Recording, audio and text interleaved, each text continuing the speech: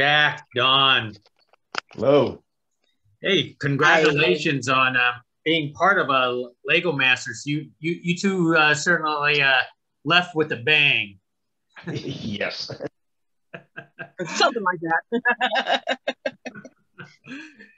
hey, so uh, so uh, how how did it feel to be part of uh, you know this uh, reality uh, competition uh, when when you got that call?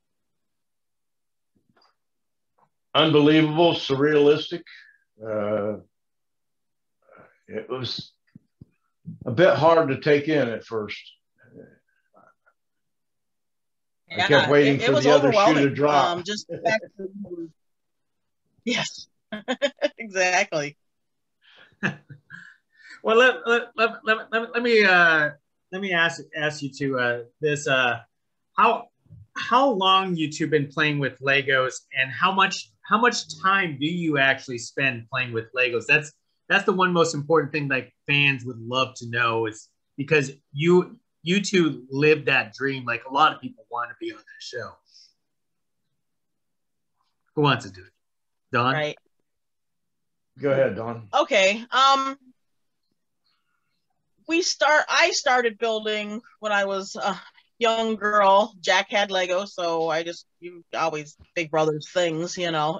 and so I was building with his Lego way back in the 60s and it was a, it was kind of a hit or miss depending on what was else was going on and so it and then when my kids became old enough we supply them with legos and try to spur their creativity and i hung on to those lego sets and bricks because it's like yeah these these are will have some kind of value whether it's to resell or for grandchildren or for whatever you know and then just in the past year or so I I kind of dug those out and started building in earnest. And I build something every day. Even while I was on Lego Masters, I was mm-hmm. posting mm-hmm. a daily brick limit challenge build every day to Instagram. Um, some of those I had pre-built ahead of time before I left because it's like I don't know what bricks I'm going to have available. I took some with me, but I still don't know what I'm doing each each day. And so you know i so i pre-built quite a few but not every day so i was still building in the hotel room and posting every day something even if it was after midnight but i would post something so i do i do build every day um and even since i've been back from from shooting the show i i probably have uh, built even more than before i left so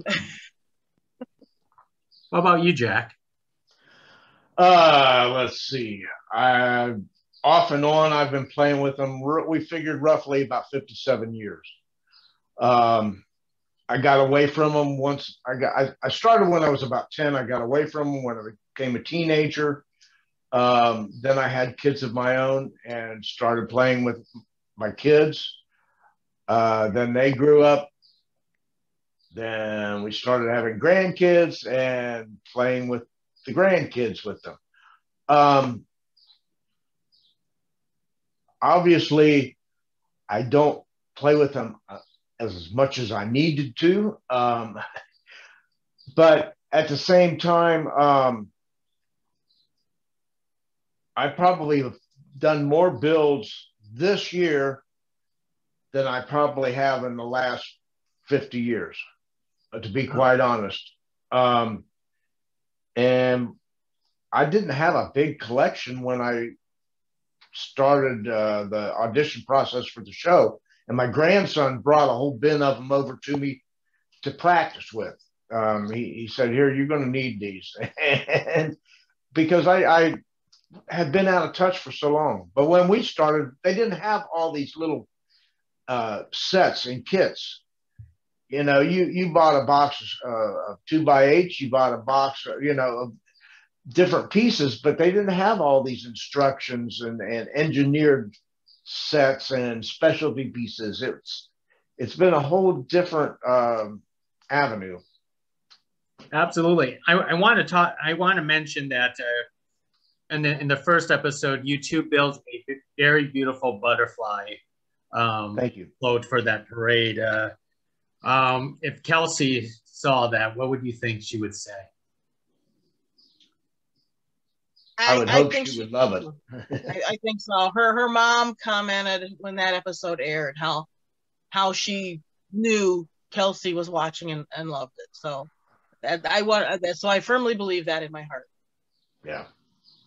Ab- absolutely. And um and what one one of the things that uh, you know a lot of Lego enthusiasts we're we're all we're all builders. It's it's one thing to actually build, but in in the in the uh, that elimination episode, you had to build and you had to blow it up. What was that like? You know, exploding your own Legos into bits and pieces. It was a challenge to think outside the box because we've always tried to build for to not intentionally fall apart. I mean, I, have had a lot of them fall apart unintentionally, but um, so it was a, it was a little different animal, and evidently we built a little too strong. right. So the strength challenges we we nail. So. that is true. Well, let, let me leave with one more thought for um, for both both of you. Um, what what is the uh, the the joy of uh you know the joy and the fun of building Legos to you? What does it mean to you? To I me, think, it's an escape yeah. uh, uh, from reality, from the daily daily grind, from all the negative stuff, and and I think that that the whole Lego community is like that. Um, yeah. they're, they're, they're a much kinder. I, I can't even put it into words. I really can't. Dawn, you yeah, want to but the AFOL community. Yeah, the AFOL community is, to quote somebody, I don't remember, a kinder, gentler community. for the most part. I mean, there's some people that you know are gonna say, "Oh, well, yeah, you deserve to go home" or whatever, and that's fine. They're allowed their opinion. Um, but in in general, the, the whole AFOL community and the Lego community are are awesome people and they inspire me to want to be even more creative. Oh, so yeah. I think that's you know just the creativity and the outlet for for that creativity is, is just I love. I love that, you know, because we, we both come we come from a very creative family. Both of our parents had creative avenues that they they used and and our other siblings and they're all of the you know our nieces and nephews and kids and and their kids and things like that. It just kind of goes on and on. It, it's self-perpetuating. You inspire creativity and that creativity then inspires you some more well absolutely. Well jack and dawn hey thank you uh, for carrying this conversation with me. Wish wish wish you guys were still on the show but you know what?